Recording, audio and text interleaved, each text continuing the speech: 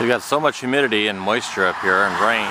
Everything in Oregon is just lush and green and alive. Not like California where everything's dead and dreary.